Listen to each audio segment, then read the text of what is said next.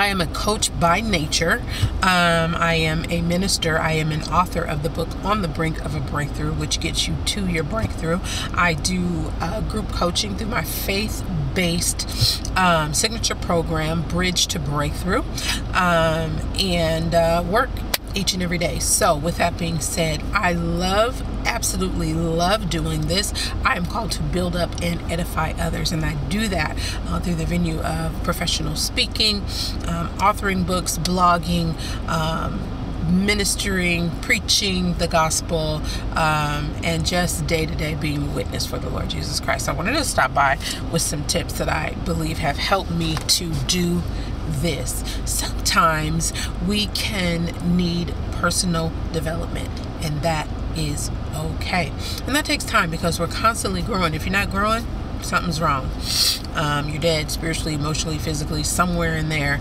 Um, and you need to wake up. Personal development um, has been one of the most um, biggest blessings in my life. And so that is what I like to teach from. I like to teach from my experience and I like to teach from the Word of God. So, that being said, today's title um, for your breakthrough is How to Get Over Yourself. All right, because sometimes um, we have external situations and circumstances um, that prevent us from growth, but then other times we need to get our own selves in check, right?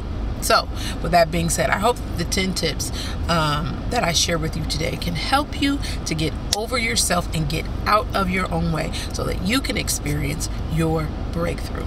Here we go. Number one, you are not perfect. None of us are. We will all make mistakes at one time or another. But I tell you what, um, there is grace for mistakes. You got to learn to give yourself grace. You got to learn to allow yourself without guilt, without shame, to say, hey, I made a mistake. Let me get back up and get back in the game. And this time better because I'm not just going to get back up and dust myself off, but I am going to take the lesson from the failure, from the fall down, from the mistake. I'm going to take the lesson from it, and it's not going to be a mistake anymore. I'm going to use the bricks um, that I tripped over to build, help me build where I'm going. So we are not perfect, but we are loved. You got to know that above all, we're all going to make mistakes, but you are loved. God loves you.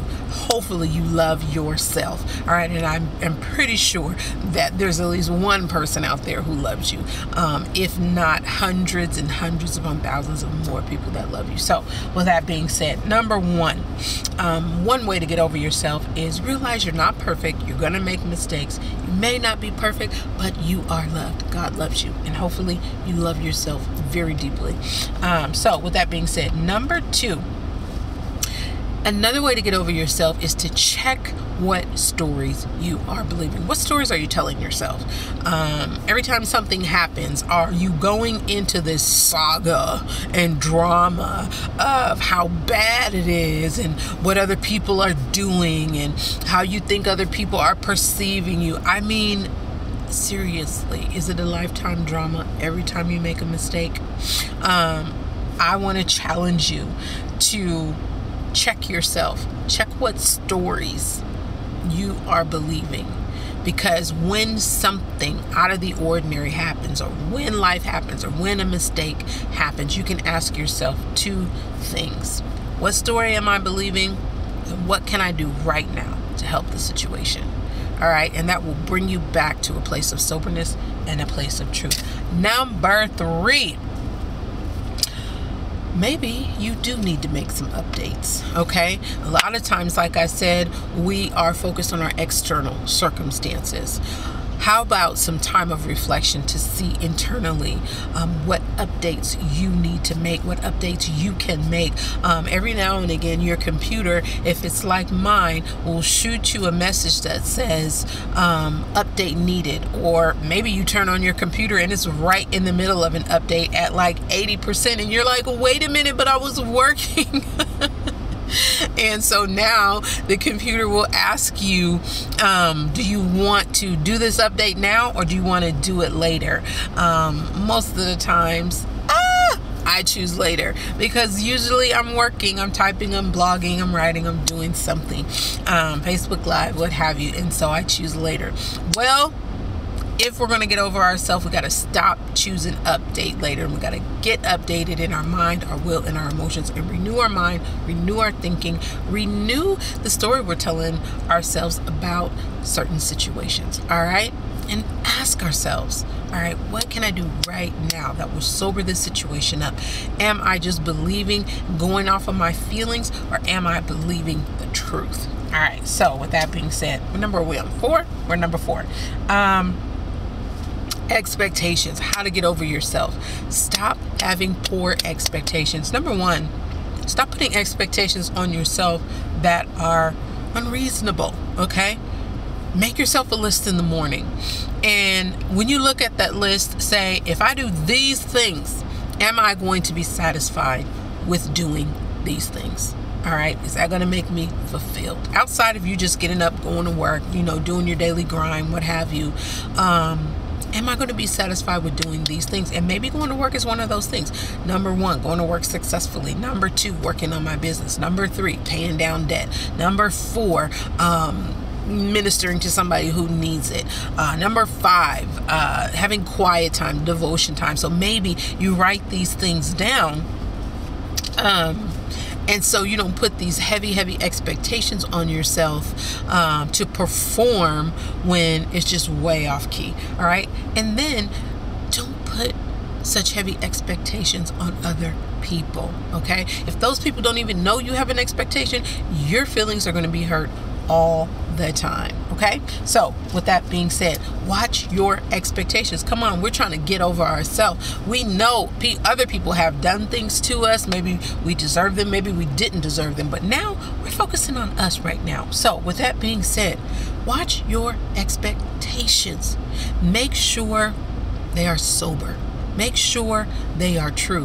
When I have an expectation to sit in my chair at work, I have an expectation that that chair is going to hold me up because it's held me up before. It's held me up for a year now. So I'm pretty sure that if I sit in it, it's going to hold me up.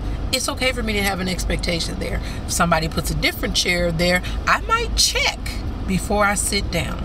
Okay? You get my point? So, with that being said, check your expectations. Make sure they're sober concerning yourself and concerning other people. Ask because I know a lot of times as women, we have all of these haughty expectations, and then when our expectations are not met, our feelings are hurt. And then we get into our feelings, and it's this whole long, drawn out saga.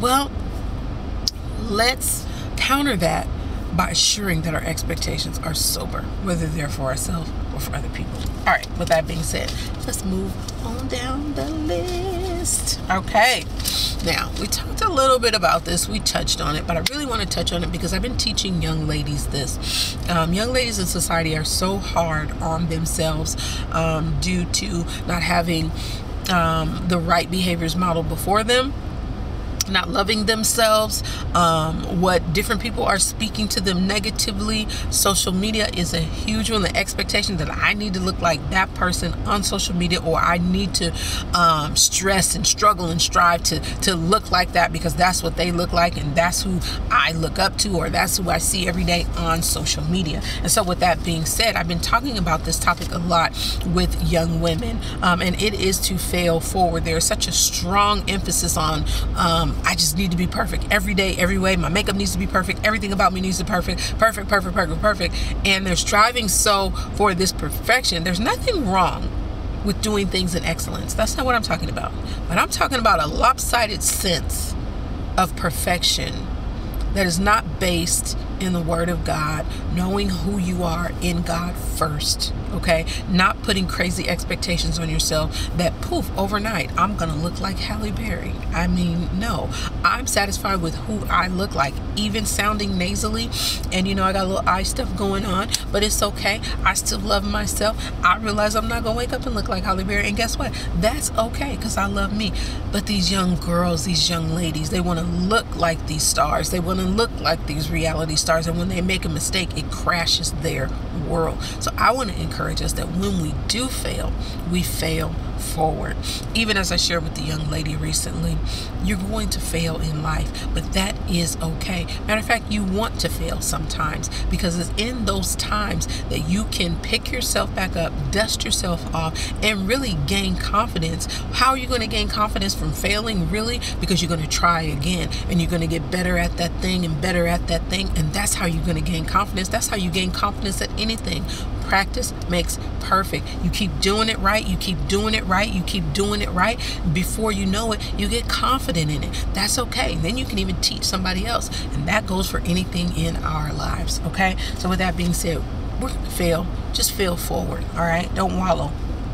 Next, how to get over yourself. You got to learn how to laugh at yourself. You got to learn how to lighten up, okay? I know that we endure some serious times and I know that we are in some pretty heavy times in our world today.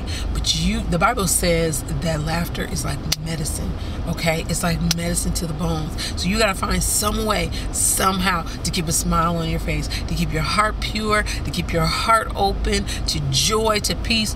Um, the Bible also says that the joy of the Lord is our strength. The joy of knowing Jesus, it's our strength. Okay, so you don't want to lose your joy because when you lose your joy, you lose your strength, and you don't want that to happen. Okay, so with that being said, laugh a little, lighten up. And you know what else? You know what else really gets me laughing? when I laugh at myself. When I do something funny or I say something funny that maybe nobody else even thinks is funny, but I laugh at myself. Or when I make a mistake, I've learned how to laugh at me. Okay? So, with that being said, um, lighten up lighten up. Get over yourself. Lighten up. All right. Don't be so serious all the time. Okay. Don't be so stressed out all the time. You ain't got to be stressed out all the time, serious all the time. All right. Smile a little, enjoy life, relax a little, and just let God have his way. All right. So, with that being said, forgive. If you're going to get over yourself, oh my gosh. Oh, we. Mm, mm, mm, mm, mm, mm. you gotta forgive. I know, I know, I know, I know what you're saying. I know what you're saying. I know what you're saying. I'm gonna check the time right now. Okay, all right. I know what you're saying. You're like, that thing is hard. You don't know what they did to me. You don't know what they said to me. Check it out. I may not know, but I've been hurt. I've been bitter. I've been angry. I've been lied to. I've been stabbed in the back. I've been cheated on. Um, I've been let down. I've let myself down. I've lived in regret. I've lived in shame, um, condemnation where I've torn myself down through many different situations. So I know how hard it can be to number one, forgive yourself, and to number two, forgive others. I get it. I understand it. And I'm not telling you that it happens overnight, but we are commanded as believers to forgive. Why? Because God has forgiven us. So if you don't forgive your brothers and sisters, then you're not going to be forgiven. And you are, like I say all the time, you are not forgiving them for them. You are not saying, hey, what you did, I agree with what you did. No you're saying the exact opposite. I do not agree with what you did. If you hurt me or harm me in any way, um, talked about me, misused me, abused me, if you did any of those things, that is wrong. It does not line up with the will and the word of God, and it does not line up with me, does not line up with my value, okay, and my self worth. It doesn't line up with that. But what I'm saying is, in order for me to continue to grow and not be stagnant, not be dead on the inside, I must release you. I must forgive you so that I can move forward in freedom because forgiveness frees you. It may not free them. They may go on hurting the next 25 people. But see, the thing is, you can't change them. You have no control over them. You have no control to change them. It's like having a pet rattlesnake, okay? Ultimately, that rattlesnake is going to bite you, okay? It's going to leave a root of bitterness. And before you know it, that bitterness is going to affect every area of your life. And when you have, um, when you open the door to a root of bitterness, it frustrates that grace of God, that unmerited